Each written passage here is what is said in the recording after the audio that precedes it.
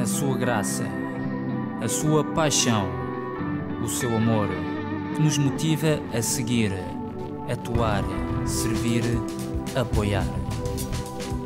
Mexe no nosso interior para viver, amar, alegrar e compartilhar. Esse sangue derramado na cruz do Calvário que nos limpa, nos salva, nos lava. Jesus é o nosso Rei.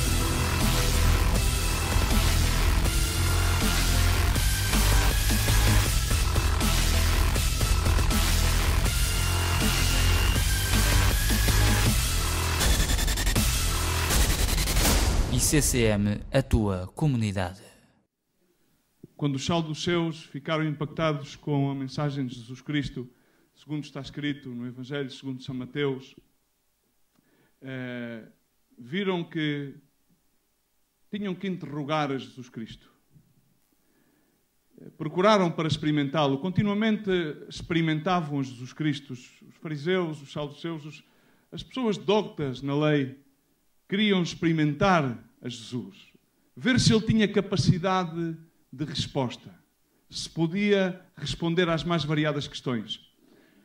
E ao fazê-lo, Jesus Cristo respondeu-lhes de uma forma acerca qual era o mandamento eh, mais perfeito da lei. Ele disse-lhe: Uma coisa só, amarás ao seu Senhor, teu Deus, de todo o teu coração, de toda a tua alma e de todo o teu entendimento. Amém? É necessário entendimento e é necessário cada vez mais responder às mais variadas questões que afrentam os cristãos, os filhos de Deus. Hoje sucedem muitas coisas e até ao dia de hoje, desde Jesus Cristo até agora e anteriormente no Antigo Testamento, sucediam as mais variadas coisas. No entanto, há uma pergunta e este é o título desta mensagem. Não há uma causa? Pergunta-te a ti não há uma causa. As pessoas, quando se encontram nas mais variadas tipos de circunstâncias nas suas vidas, muitas das vezes esquecem-se que há uma causa. Vivemos nos tempos nos quais parece que somos, como diz um ditado e um refrão eh, à juventude dos anos 70, rebeldes sem causa. Muitas das vezes parece que não temos a capacidade para dar resposta às necessidades que existem à nossa volta. O cristão vai ter que responder a muitas perguntas que lhe fazem. Por isso há uma ciência que é a apologética. A apologética vem da palavra apologia do grego e não deriva do inglês apologize, ok? Muitas pessoas apologética, apologize, apologia, não. Não é apologize, que apologize significa pedir desculpas. Se tivéssemos que pedir desculpas por tudo aquilo que nós fizemos que não agrada, que não agrada a Deus, continuaríamos todos os dias da nossa vida continuamente a pedir desculpa, desculpa, desculpa, desculpa. O que eu digo é que é necessário ter capacidade para dar respostas. É necessário nestes tempos em que parece que o sistema de valores uh, se foi perdendo, é necessário que a igreja que tu e eu saibamos dar respostas às mais variadas perguntas. A apologética é, conforme diz a derivada palavra do grego, dar uma defesa, dar uma resposta, tal qual como diz a palavra de Deus em 1 de Pedro 3, 15 e 16, diz: Antes santificai a Cristo como Senhor em vosso coração, estando sempre preparados para responder a todo aquele que vos pedir razão da esperança que há em vós, fazendo todavia com mansidão e temor. Amém? Dar resposta. Noutra, noutra passagem bíblica de Atos, em que se enuncia a palavra apologia, significa explicar. Explicar, fazer claro as, a verdade do Evangelho, fazê-la transparente, capaz de qualquer pessoa a poder perceber. Isso é aquilo que nós devemos preparar-nos na leitura, na oração, para que possamos dar resposta. Estudar a ciência da apologética significa estar preparados para dar resposta da esperança que há em nós. Paulo, quando escrevia aos Filipenses, no verso 15, disse: É verdade que alguns pregam ao Cristo, mas pregam-no por inveja e contenda. Mas outros, no entanto, fazem-no de boa mente. Estes fazem-no por amor, sabendo que fui posto por defesa, sabendo que fui posto para dar resposta e sabendo que Jesus Cristo é a suprema resposta. Amém? Amém, irmãos? Não sei quantas vezes te fazem perguntas e não sei se tens a resposta. Mas há muitas questões. Nomeadamente as crianças fazem muitas questões. Há questões que se relacionam com o conhecimento do Evangelho.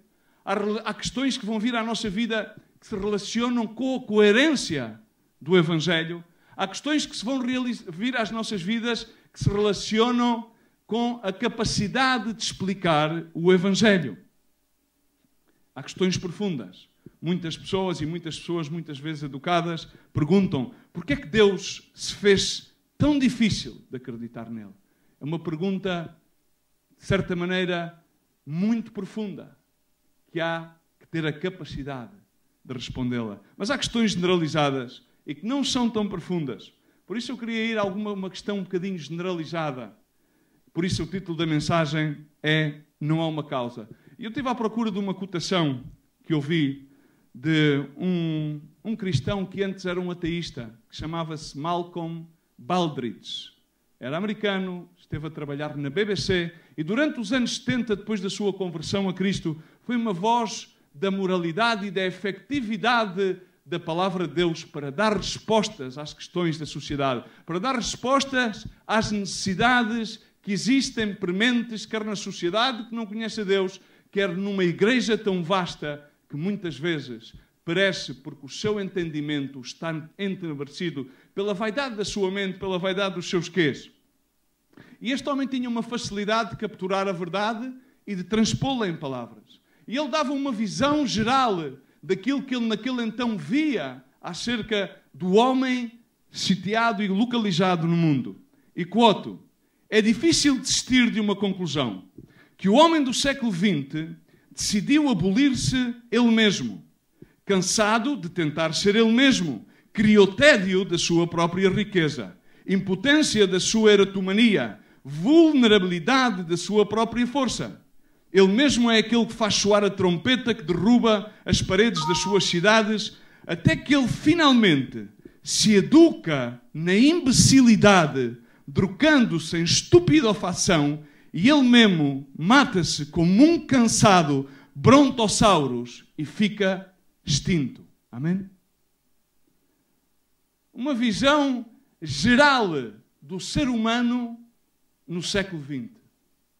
O ser humano que, ao querer, eh, de alguma maneira, alcançar tudo, vivendo como vive numa cultura de hedonismo. Vocês sabem o que é, que é o hedonismo? Eu gostaria, porque às vezes há pessoas que podem não saber. O hedonismo é uma doutrina moral, filosófica, que consiste que o único propósito da vida é buscar o prazer e a satisfação pessoal. E é isso que vemos. O homem fica com tédio porque sua riqueza já não lhe dá qualquer tipo de prazer o homem é o seu eretomismo, a sua capacidade de manifestar-se em todas as suas habilidades, potências eh, anímicas, potências mentais, ao fim e ao cabo, vão-se as suas forças. O que mais me toca neste, nesta afirmação é que ele diz: o homem educou-se tendo educado-se em imbecilidade. Hoje as pessoas querem responder às questões mais prementes da vida com vãos conceitos humanístico-religiosos que não transformam a alma, que ficam à superfície de poder responder às questões da necessidade do ser humano. Hoje em dia reina o relativismo, que é nada mais, nada menos que uma teoria que se baseia na relatividade do conhecimento, na relatividade do entendimento. E isto não podemos dizer, não, isto é o que se passa na sociedade. Não, isto é aquilo que ocorre dentro da igreja. E mais que nunca, a cada dia, levanta-se o antiteísmo, aqueles que são contra aceitar que há Deus. Significa uma filosofia que suporta a oposição da natureza humana contra a natureza divina. Como diz a palavra de Deus, como já o dizia Isaías, Ai daqueles que ao mal chamam bem e ao bem mal e que põem as trevas por luz e a luz por trevas, o amargo por doce e o doce por amargo. Significa que vamos em prol de trocar o bem por o mal e o mal por o bem, e há uma confusão tremenda na mente e no coração, na alma do ser humano, que não sabe, mas está em busca do Criador, e levantam-se inúmeras e inúmeras questões. No outro dia falava com um irmão que me dizia: depois de tantos anos, a única coisa que tenho são questões. E o nosso caminhar em Cristo e a nossa caminhada com o nosso Redentor é que possamos aprender que Ele é manso e humilde de coração, para que tenhamos nele a fluidez de dar resposta com convicção de fé, de tal forma que as questões possam ser respondidas. Significa que todas as definições hoje em dia e todas as certezas foram-se por água abaixo. Se nós nos recordarmos, irmãos, eh, toda a gente conhece a história da criação. Quando o Senhor disse ao homem no jardim do Adão, dizendo: De toda a árvore do jardim podes comer à vontade. No entanto, da árvore do conhecimento e do bem e do mal, desta não comerás. O que é que estava Deus a querer dizer-nos? Aquilo, na realidade, que Ele estava a querer dizer-nos é: não te armes em Deus. Não queiras ser Deus. Não comeces a tentar definir e redefinir aquilo que está bem e aquilo que está mal. Mas pensamos, eu quero fazer-te uma pergunta. Na realidade, o que é que o homem fez? Na realidade, o que é que nós fizemos? Tiramos de Deus, da sua mão, a balança e o cajado. Julgamos a sua justiça, em suma, tornámonos o Deus do nosso Deus. E essa é a realidade. Banhados em hedonismo e relativismo que assola a igreja, que assola a família cristã, na qual se quer redefinir o que está bem e o que está mal. Quer-se definir a forma como devemos agradar a Deus ou a forma como devemos chegar à Sua presença. Mas pensa bem, hoje em dia, o que é que mais se defende? Uma das coisas que mais se defende hoje em dia são as árvores. As árvores são-lhe dadas nomes. E muita gente faz da sua causa a defesa das árvores. Mas eu pergunto: o que é que nós estamos a fazer para defender a árvore do conhecimento do bem e do mal. O que é que tu fazes? Parece que cada vez mais, em vez de termos afirmados os pés na rocha, temos os nossos pés afirmados numa fina camada de ar e levitamos, levitamos. Parece saber, parece ser que muitas vezes nos esquecemos de onde vimos, muito menos sabemos onde estamos e então a grande dúvida é para onde vamos. Eu queria contar-vos uma história uma história de um homem que está localizado na Bíblia. A história de um homem que era um engenheiro civil. Um homem que estava bem colocado, que vivia num palácio. Esta história passa-se mais ou menos 400 anos antes de Cristo. E este homem servia no palácio, servia ao rei, o rei Arterres. E este homem chamava-se Neemias. Este homem, depois de ver que um dos seus irmãos, que se chamava Anani, tinha voltado da terra dos seus antepassados, tinha vindo de Jerusalém. No seu coração, a primeira coisa que lhe veio foi fazer uma questão. Assim que viu Anani, disse-lhe: Diz-me diz como é que se encontra a terra dos nossos pais. Anani respondeu-lhe: O povo está em aflição alterou o seu sistema de valores. Em consequência, ficou em cativeiro. Os muros estão destruídos. Já não existe forma de apresentar defesa. As portas estão queimadas. Podem entrar e sair qualquer tipo de conceito, qualquer tipo de ideal que o povo, em suma, está em ruínas numa cidade que está em ruínas.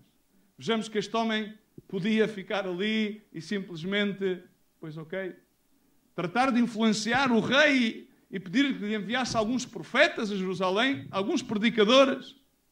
Mas vemos a palavra de Deus ensina-nos que, passado aproximadamente à volta de uns quatro meses, depois que este homem jejuou e orou, o rei olhou para ele e viu no semblante dele a sua tristeza, a carga que existia dentro do seu coração. Irmãos, o grande problema hoje em dia é que grande parte dos filhos de Deus anelam ter um cargo ministerial, mas não têm uma carga no seu coração. O ministério é uma plataforma para satisfazer o seu hedonismo.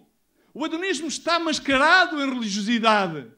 Este homem não era um homem que ia em prol de gratificar-se ele mesmo, estando bem situado e tendo a capacidade para influenciar um rei, senão que ele contristou-se no seu espírito ao receber a carga pelo seu povo, pela cidade dos seus antepassados. Pergunta a ti, carga é que tu tens no coração?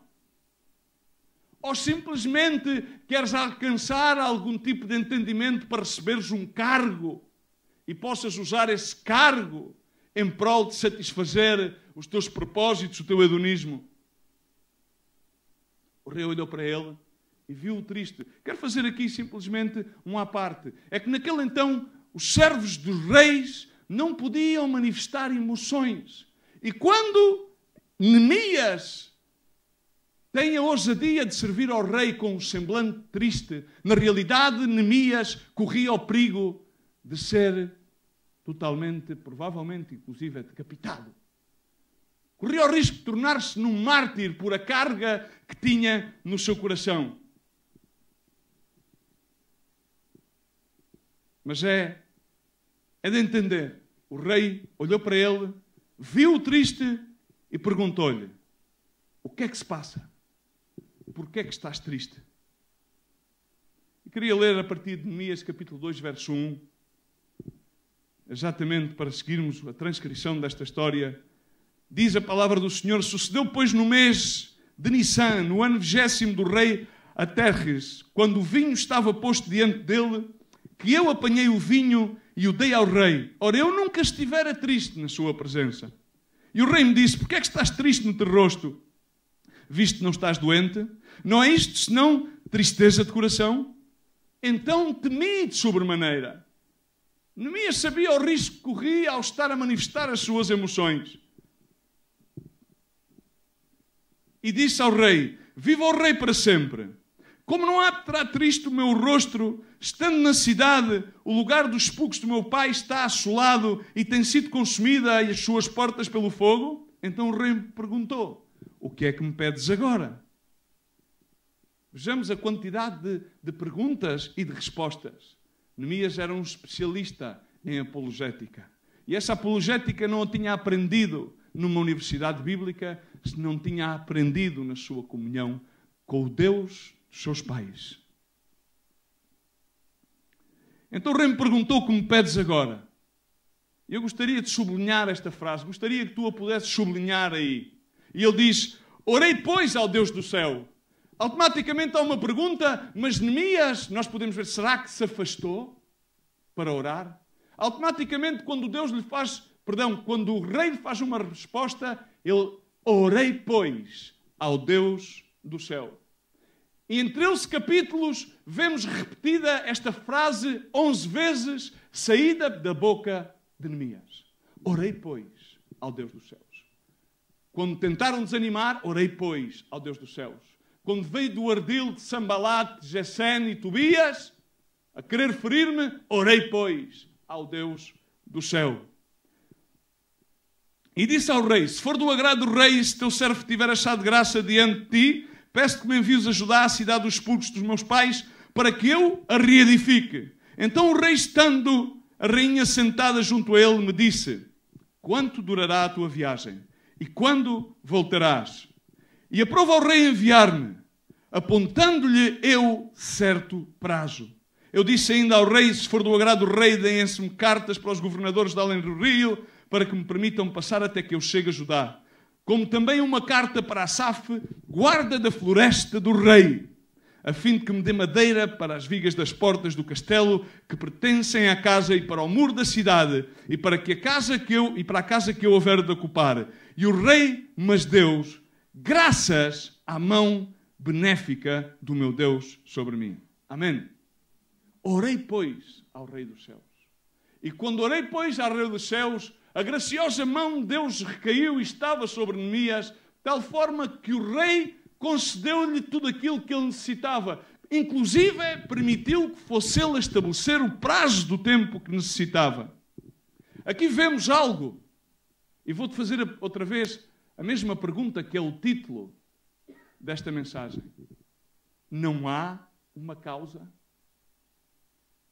Porque o coração das pessoas parece que se aligeira e parece que andamos na vida sem causa. E parece que não estamos chamados como filhos de Deus a defender uma causa. Não há uma causa. Aquilo que vemos é uma causa. E não só vemos uma causa, senão que vemos uma pessoa a ser chamada e preparada por Deus para responder a essa causa. Temos todos os dias um desafio para construir os muros. Sim, porque os muros estão derrubados. Os muros dos valores éticos, familiares e morais estão derrubados. Vale tudo. As portas. E vou à família porque a família é, é, é o pilar da nossa comunidade. Amém? As famílias têm os seus muros derrubados. As famílias têm as portas queimadas. Estão em aflição e não têm resposta. Temos uma pessoa que podia estar a desfrutar dos prazeres do palácio e provavelmente podia se tornar como que um pouco mais espiritual, aparentemente, e poderia continuar a jejuar e a orar à distância da causa. E isso passa muitas das vezes que nós temos muita carga, ou aparentemente parece que estamos vocacionados para tal, mas estamos muito longe de responder às perguntas, à necessidade que necessita uma resposta. E ele, de repente, no seu palácio, a servir comodamente, há uma voz que é a voz de Deus e que lhe diz: Eu quero que sejas tu, Neemias, a reconstruir um, um muro. E neste processo, eu queria apontar alguns pontos, para não tardarmos muito, mas pontos pelos quais gostaria de despertar em ti a atenção. Já te perguntastes que causa é que defendes? A Bíblia ensina no livro dos Provérbios que cada homem proclama a sua bondade ou verdade, dependendo da versão bíblica, mas, no entanto, homem de verdade, quem o encontrará?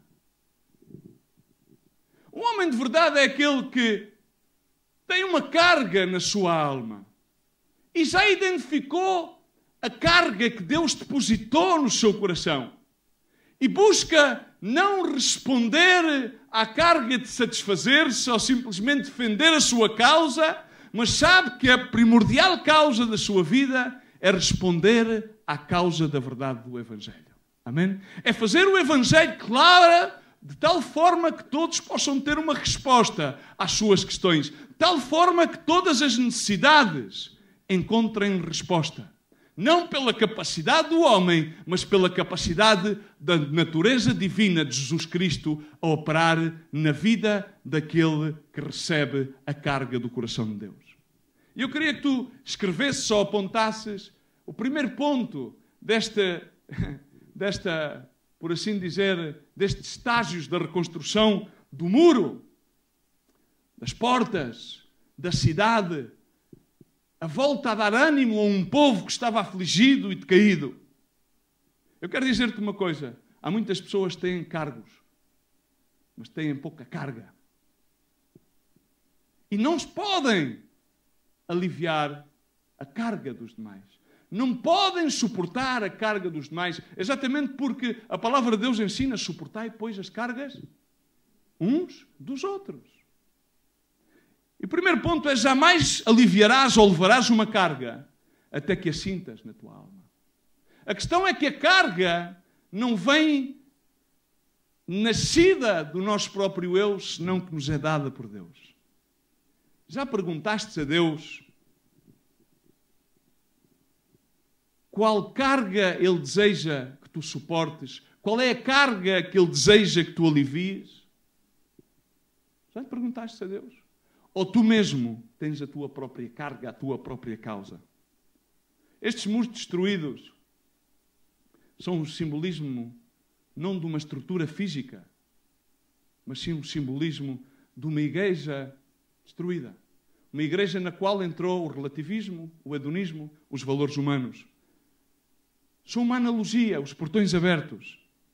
Famílias que deixam entrar pelos seus lares todo tipo de doutrinas, todo tipo de mensagens. Famílias que estão localizadas na sociedade e que muitas delas dizem Senhor, Senhor, mas o seu coração está longe delas, porque na realidade, ao ter os muros destruídos e as portas queimadas, não têm limites para poder responder apologeticamente àquilo que é necessário, que é responder à causa do Evangelho. Por assim dizer, entram influências do bem e do mal.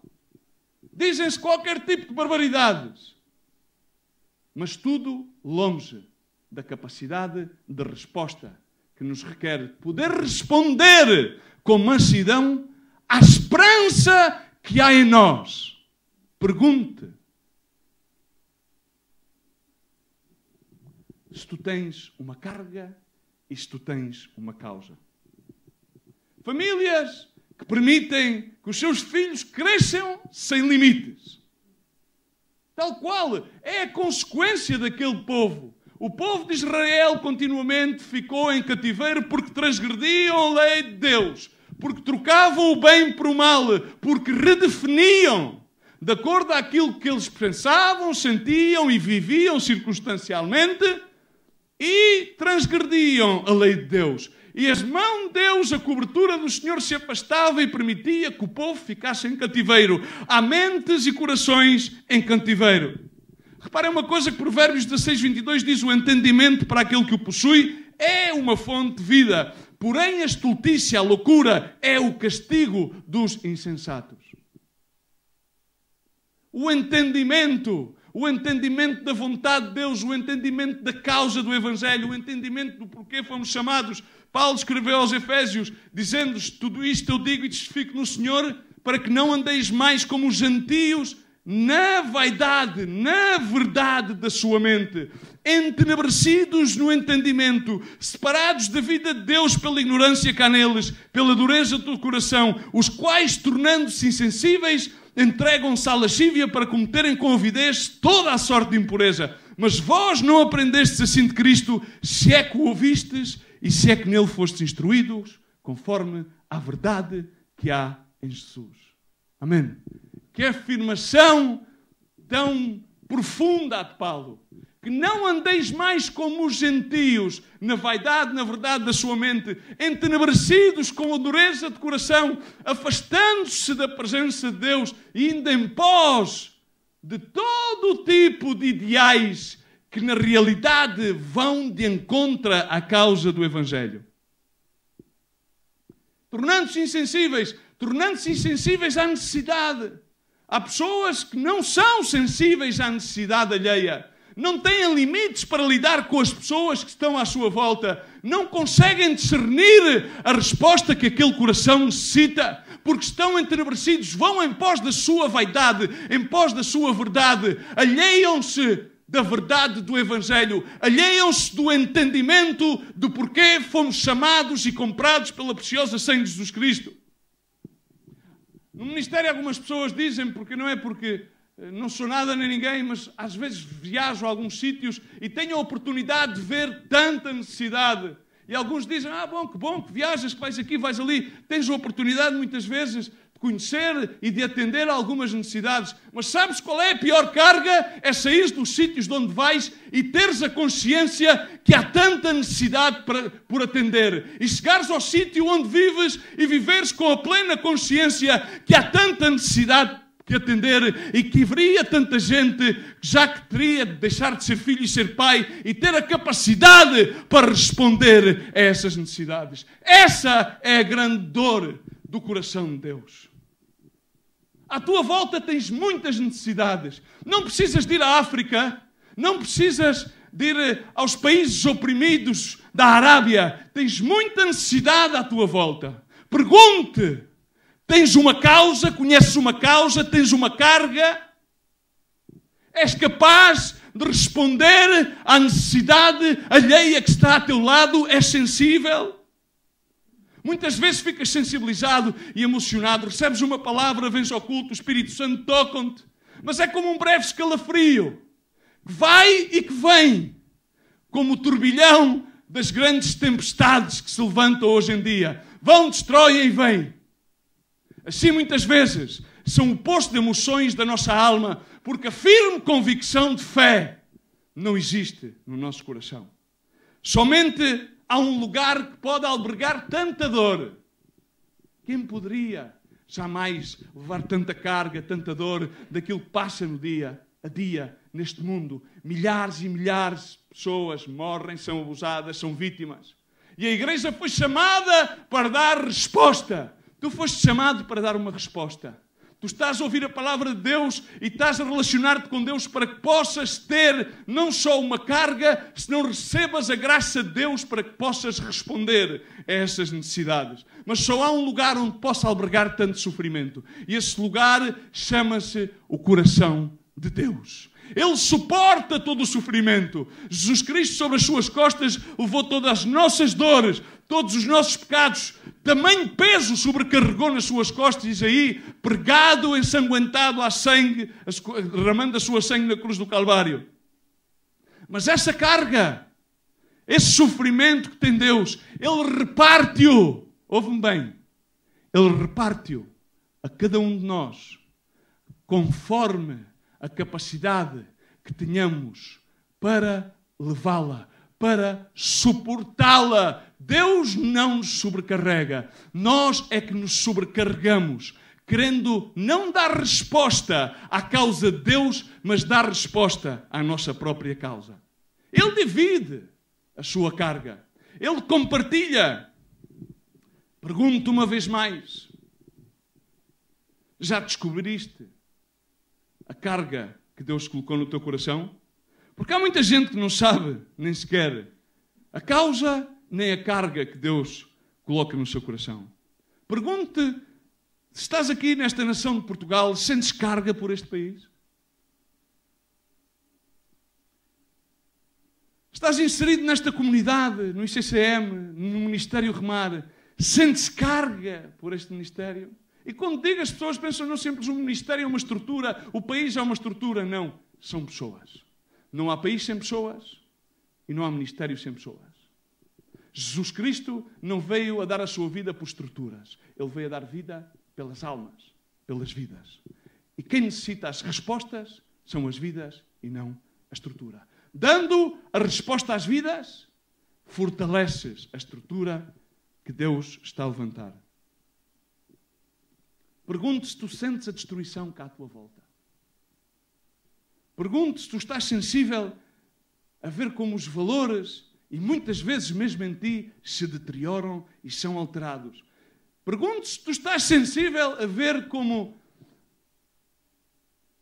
o antissemitismo, o antiteísmo vai de par em par neste mundo, infiltra-se nos sistemas de educação e assolam as nossas comunidades. Pergunte se tu estás sensível a isso. Ou também já estás empapado do relativismo. Podes sentir o hedonismo, podes sentir como as pessoas somente vão em busca do seu próprio prazer e esse é o sumo propósito da sua vida. Pergunta ainda mais e sou mais audaz. Na tua vertente de filho de Deus, será que esse hedonismo encontrou lugar no teu coração?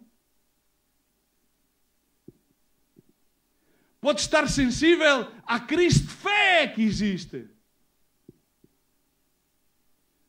A grande diferença entre muita gente e Neemias é que Neemias sentiu sem ver.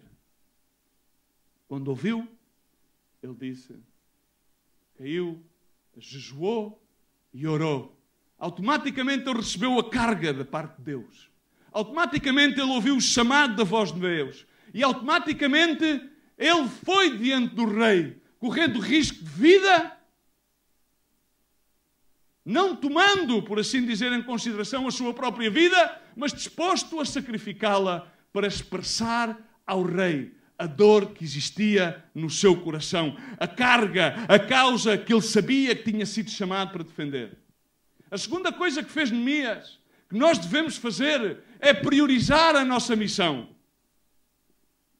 Priorizá-la em oração. Neemias priorizou a sua missão orando e jejuando. A palavra de Deus diz que a igreja de Jesus Cristo prevalecerá mesmo controladas. A igreja, quando ora, se fortalece. Há muitas pessoas que pensam que são mais fortes quando realizam coisas. Mas a palavra de Deus ensina-nos que nós somos mais fortes quando estamos de joelhos. Ensina-nos que as batalhas são ganhas em oração. E eu quero simplesmente apontar aqui três coisas. Quando nós oramos e quando nós realmente temos, somos cristãos que oram, acontecem três coisas. Primeiramente, estamos a reconhecer a soberania de Deus, estamos a anular a nossa própria selfie, a nossa própria tendência a querer tomarmos o lugar. Porque, nomeadamente, quando começamos a orar, devemos fazê-lo desta forma: Pai nosso que estás nos céus, soberano Altíssimo Deus, apresento a minha causa diante de ti. E quando nós levantamos a nossa oração ao Pai, aquilo que estamos a fazer é estamos a recordar-nos a nós mesmos: epá, aquilo que tu fazes não tem tanta importância. Tu pensavas que tinhas soberania, mas a soberania é de Deus. Quando fazemos isso, estamos a colocar a Deus no local que lhe pertence, que é do sumo lugar da soberania, o sumo sacerdote, o sacerdócio de Melquisedeque, consumado em Jesus Cristo. Ao orar, estamos a reconhecer que não temos recursos, mas dependemos daquele que tem todos os recursos.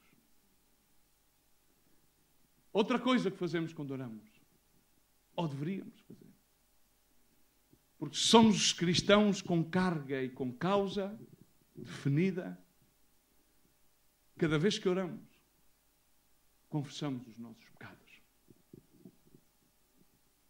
E Deus conhece o nosso coração.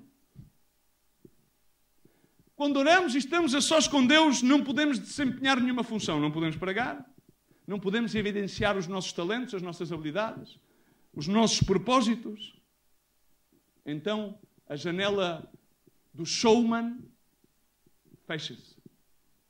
E Deus vê o mais recôndito lugar do nosso coração.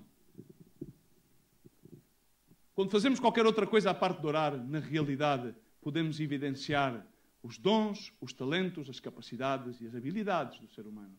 Portanto, não é tanta a glória de Deus. A maior glória de Deus sempre foi manifesta na Bíblia quando o seu povo se humilhava, invocava em oração o seu nome. Várias vezes a palavra diz aos, aos sacerdotes que se pusessem em silício entre o homem e o altar gemessem e orassem para que viesse o auxílio e o socorro de Deus.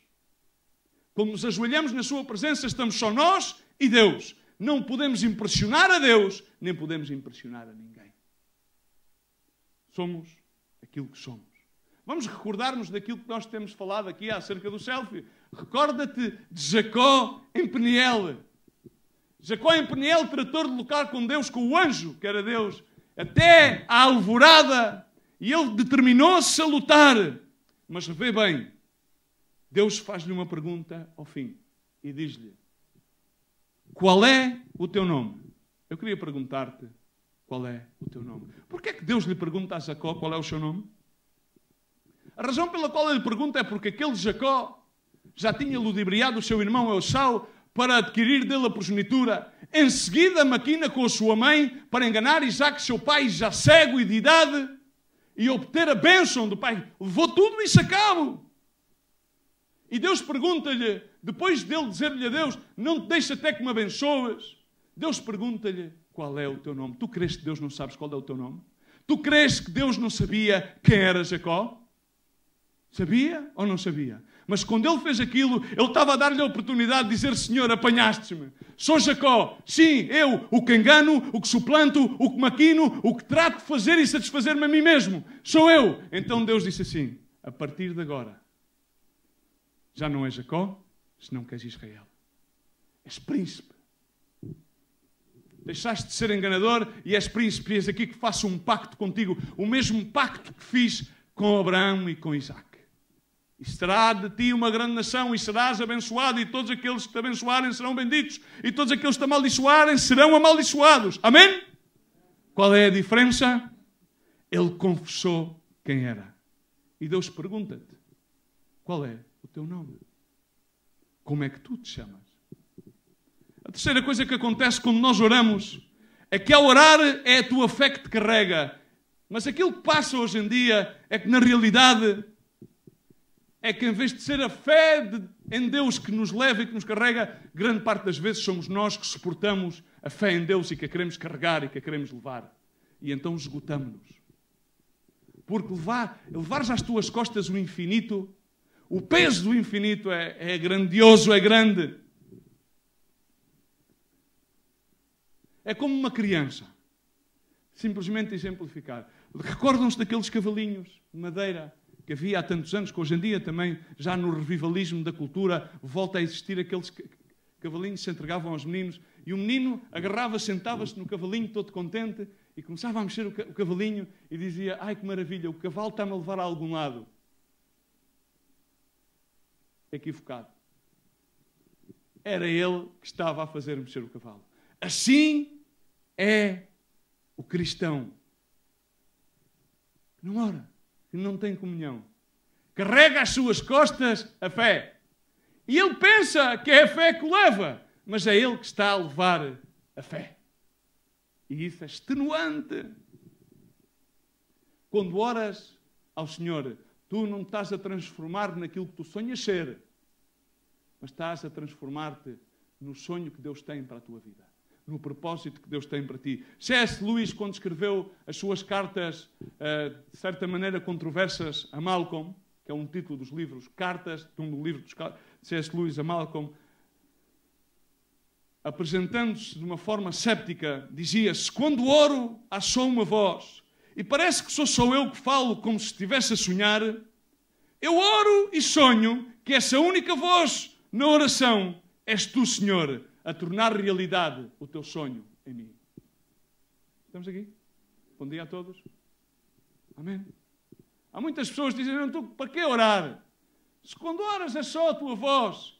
Mas se essa voz não é a tua voz e é simplesmente a voz de Deus a responder às orações do seu povo e a fazer realidade em ti o seu propósito e o seu sonho, pensa nisto. O terceiro ponto, que vamos já terminando, do estágio de Neemias foi que ele não só pediu as cartas, ele não só pediu ajuda ao rei, senão que ele sabia que não podia fazer nada à distância. Diz comigo, proximidade. Ele dirigiu-se para a cidade, rodeou a cidade pela noite, viu o caos em que estava a cidade.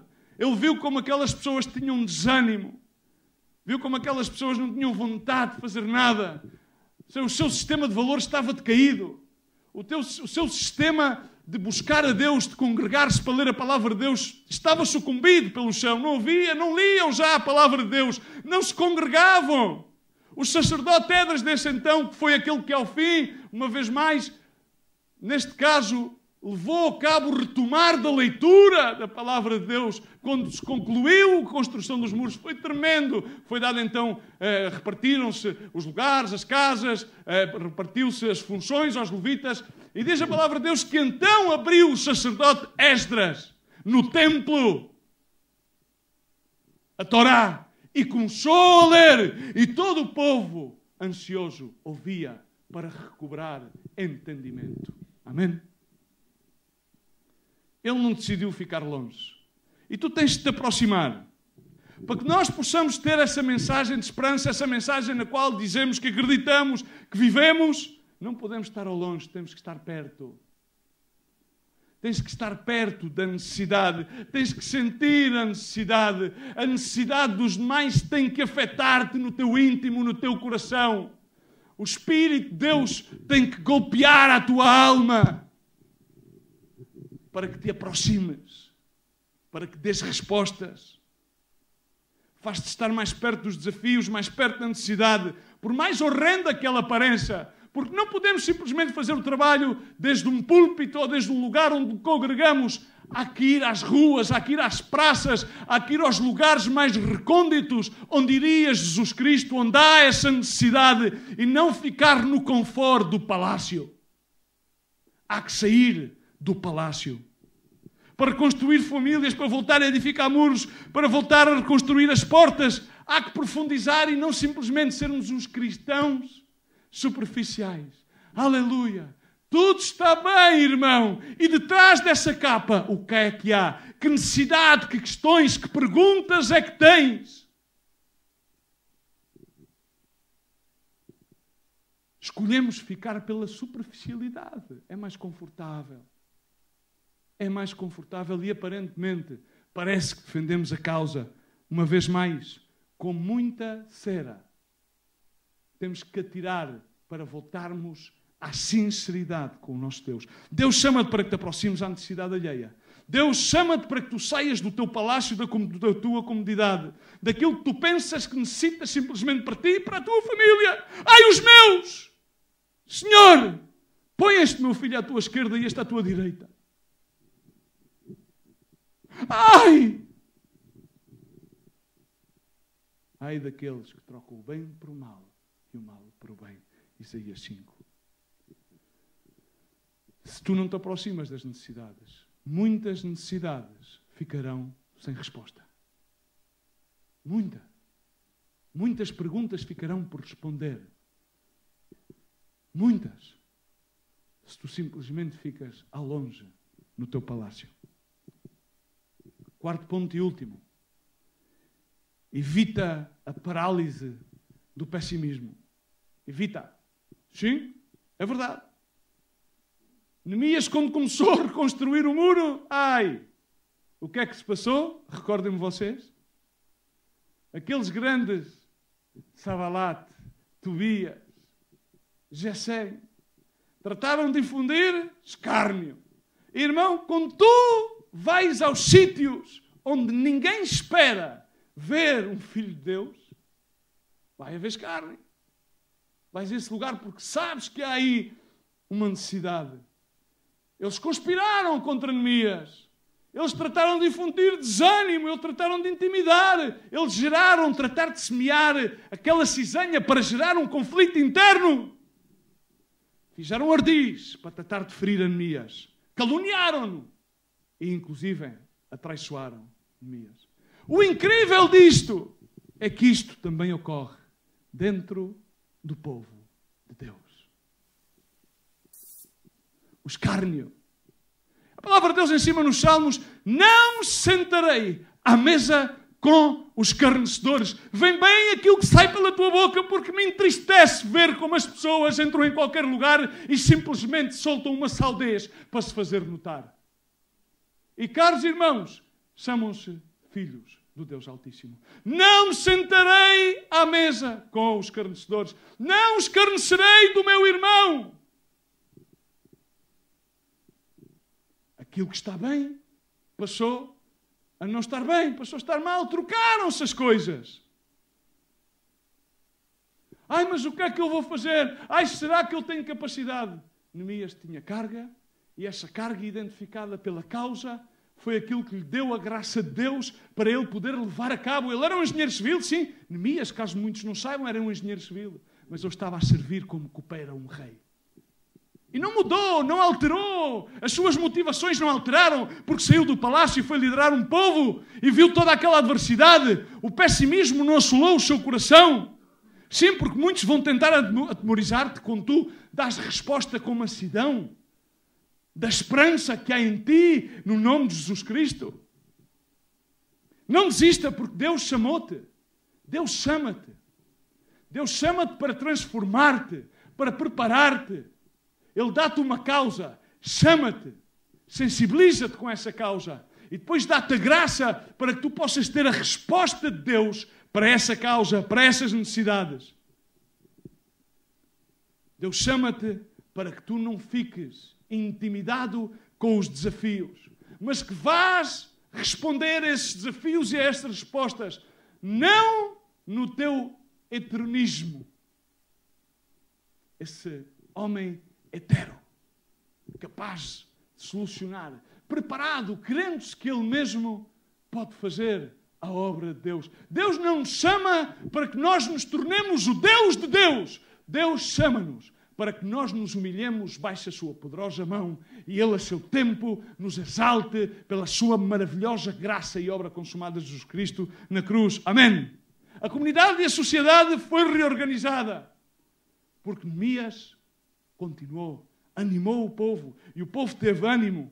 Mas isso requereu, caros irmãos, compromisso e sacrifício. Sacrifício ao eu. Há muitas histórias e quero terminar com duas histórias. Uma coisa que me dá por ler de vez em quando para recordar-me fomos chamados ao sacrifício é algumas histórias que estão relatadas no, no livro de, de John Fox dos Mártires. Hoje já não há martírio para grande parte dos cristãos ocidentais. Vivemos em, em plena linha reta. Mas em Atos quando a palavra de Deus virá, deixará sobre vós o poder, traduzido do grego, significa vos dará o poder para poder ser mártires, tal qual como foi Estevão e como tal qual como foram tantos dos discípulos de Jesus Cristo. E muitos seguiram. Havia um jovem que, vira, que vivia nos arredores de, de, de Roma, que chamava Telemacos. E Deus chamou naquele espaço temporal para que ele entrasse em Roma e fosse direito ao Coliseu e assim ele fez. Entrou em Roma, foi direito ao Coliseu, entra no Coliseu e começa a dizer: Parem já estas orgias e estas matanças em nome de Jesus Cristo. E era uma voz, sofreu carne. Este está maluco. Os gladiadores na praça deram-lhe encontrões. Um carro passou por cima de Telemacos. E Telemacos, no seu último suspiro de vida, dizia: Parem já, no nome de Jesus. Este foi o seu último suspiro. Fora do seu conforto da casa, fora da opressão que havia, da perseguição que havia Roma, em Roma aos cristãos. Quero terminar com esta história, uma história muito simples. Uma história que muitas das vezes, e queria pedir aos irmãos do louvor que subissem, uma história que muitas vezes, provavelmente, tu já a vivestes. Um dia uma criança vê sua mãe a chorar. Ela estava a ter um dia difícil. Muitas vezes as mães e os pais têm dias difíceis. E essa criança, uma criança da volta de 5 para 6 anos, vê sua mãe a chorar. Então a criança aproxima-se, porque é necessário estar próximo. É necessário ter proximidade. Aproxima-se da sua mãe agarra-lhe agarra, agarra numa das suas mãos e dá um beijo à mãe. E então agarra com a sua outra mão direita, agarra na mão e faz o gesto de colocar-lhe algo na mão, que ele não tinha nada, mas estava a colocar-lhe algo na mão. E diz: Mamã, aqui te dou um pouco de coragem. Um pouco de coragem. É necessário ser corajoso. É necessário ser corajoso para sentir a carga, para sair do palácio. É necessário. Essa coragem não a têm os homens, essa coragem provém da natureza divina de Deus. Mas aquela criança, ao ver a mãe em aflição, nem sabia nem porquê, dá-lhe um beijo e disse: Mamã, estou a dar-te um pouquinho, um bocadinho de coragem. No dia seguinte, era o primeiro dia de classes. Aquela criança nunca tinha ido a nenhuma escola. O filme é aquele que todos aqueles que são pais já conhecemos. Chorava e berrava aquele menino que tinha no outro dia dado coragem à sua mãe, que não queria ir para a escola, não queria ir do seu lar, não queria sair do pé da mãe. A mamã põe-o no carro, sentou na cadeirinha no banco de trás, dirige o seu carro, o seu automóvel, até à porta da escola e a criança continua a chorar. Ela para o seu carro, abre a porta de trás, retira o cinto do banco da criança, agarra a criança e dá-lhe dois beijos. E então agarra-lhe nas suas duas mãos. E numa mão, com a sua mão direita, vai e diz: Meu filho, aqui te dou um pouco de coragem. E agarra na outra mão esquerda e coloca sua mão fechada sobre a mão do seu filho e diz: Meu filho, aqui te dou todo o meu amor. A criança automaticamente sai da cadeira do carro e com as suas duas mãos fechadas começa a caminhar direito aos pavilhões da escola, com as suas duas mãos fechadas, para que não lhe caísse nem a coragem, nem o amor que a sua mãe lhe tinha dado. O apóstolo Paulo, em 1 Coríntios 13, 13, diz: Pois agora permanecem a fé, a esperança e o amor, e destas três, o maior é o amor. Aquela criança tinha recebido a coragem da mãe. Não estava muito preparada, nem sequer tinha vontade de ir à escola, mas ela estava sensibilizada com aquela simples mensagem: a coragem e o amor. E na realidade a Bíblia diz algo muito simples. Em verdade, em verdade vos digo: se não vos converteres e não vos fizerdes como crianças, de modo algum entrareis no reino dos céus. Irmãos, não nos criemos ilusões. Os muros estão destruídos. As portas estão queimadas. E o povo, apesar que vestido com as suas capas cristãs, está em aflição. Quem vai como esta criança, com coragem e com amor? Deus está-te a dar a sua coragem, simplesmente agarra. Deus está-te a dar do seu amor. Porque é Deus quem opera em nós o querer e fazer. Eu quero pedir que te levantes neste momento e que feches os teus olhos. A palavra de Deus no livro de Filipenses diz: Fazei todas as coisas sem murmurações nem contendas, para que vos torneis repreensíveis e sinceros filhos de Deus imaculados, no meio de uma geração corrupta e perversa, entre a qual resplandeceis como luminares, como luzes, como um reflexo de Jesus Cristo. Deus está a chamar-te para dar-te coragem e o amor que Ele já derramou por ti na cruz do Calvário, essa sangue preciosa que perdoou. Por tal qual, como diz a palavra de Deus, com sabedoria se edifica a casa e com entendimento esta casa se estabelece. Não precisas ser muito doto, só precisas de entender, de sentir e de sentir a carga na tua alma, atenda ao chamado. Leva carga no teu coração. Alivia a carga de alguém que já não os pode suportar.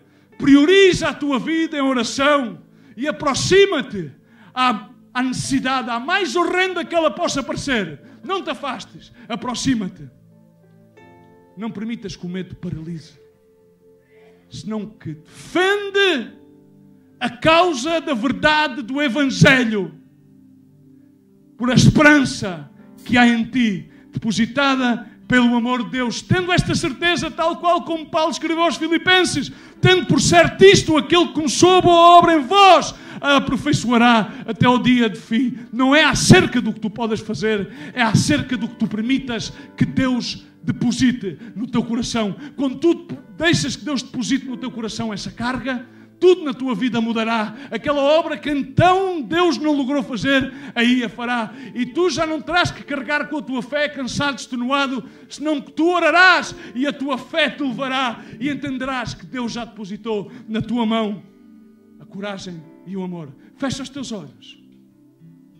E se ainda não recebeste Jesus Cristo como Senhor e Salvador, Deus não leva em conta o entenebrecimento da tua mente, a dureza do teu coração. Ele simplesmente espera que tu recebas na tua mão a coragem que somente Ele pode dar e o amor que Ele mostrou. Se ainda não recebeste Jesus Cristo como teu Senhor e Salvador, eu peço que feches os teus olhos e levantes a tua mão direita ao ar e ponhas a tua mão esquerda no coração. Se tu ainda não recebestes uma carga, não a tens identificada no teu coração, ou melhor, simplesmente se tu estás numa situação na qual podes identificar, sim, os muros da minha casa estão destruídos, as portas do meu lar estão abertas, é aqui que eu necessito que venha alguém da parte de Deus, que venha um Nemias, um reformador, e venha a reedificar com palavra de ânimo e de coragem. Estás nesse, nessa situação, aí também onde estás, as tuas mãos ao ar e clama a Jesus. Porque quando tu oras, aí de onde estás, desde o teu ponto de necessidade, desde o teu ponto de entremerecimento, desde o teu ponto de dúvida, é o Deus da verdade, a única verdade, o qual neles creem, fará de nós, nos libertará e fará de nós verdadeiramente seus filhos. Ele te vai aclarar porque Ele enviou o Espírito Santo, o Consolador. Ele é o Espírito da verdade que te guiará a toda a verdade, que te libertará de todas as correntes do engano, te libertará das correntes de próprios sentimentos do hedonismo que há na tua alma, que te derrubará toda a classe de relativismo, porque não, não há nada relativo, sim há algo absoluto.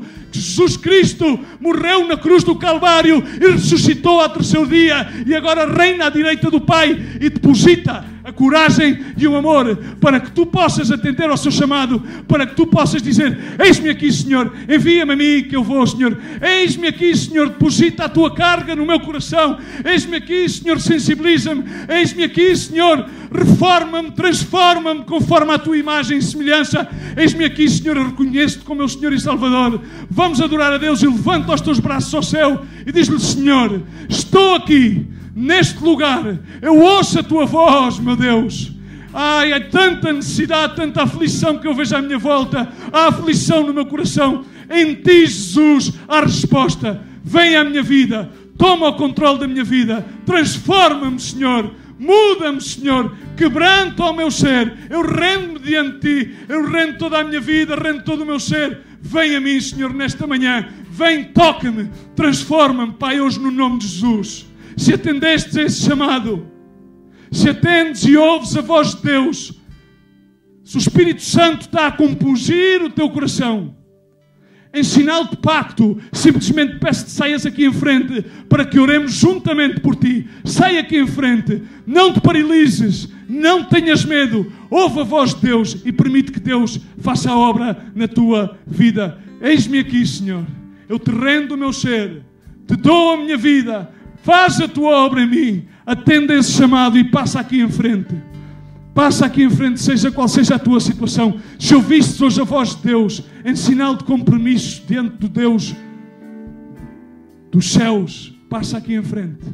Para que possamos orar e dizer tal como disse Neemias: Orei, pois, ao Deus dos céus. Orei, pois, ao Deus dos céus. Onze vezes disse Neemias: Orei, pois, ao Deus dos céus. Vamos orar, pois, ao Deus dos céus, para que Ele possa operar na tua vida.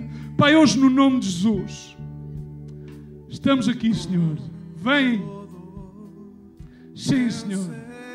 Vamos fechar os nossos olhos. Sim, Senhor. Queremos adorar-te, Pai. Shakarida Rabashiri